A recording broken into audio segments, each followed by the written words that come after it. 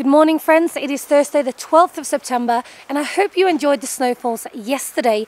Every little bit counts for sure. We had another dusting of snow overnight and the temperatures are staying quite below the zero mark today so the forecast snow should fall as planned with a top of minus one after the overnight low dropped to minus 3.5 degrees. We have seven lifts open and lift prices drop on Saturday so make the most of skiing and boarding before we have to endure summer. Ugh.